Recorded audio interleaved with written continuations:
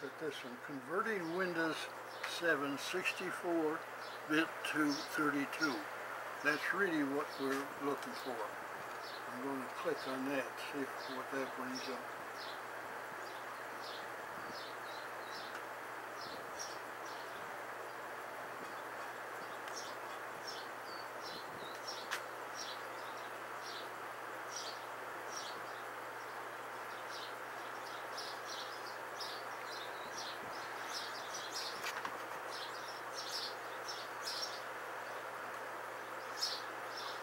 Okay. Here's, and I forgot about this. Uh, programs that are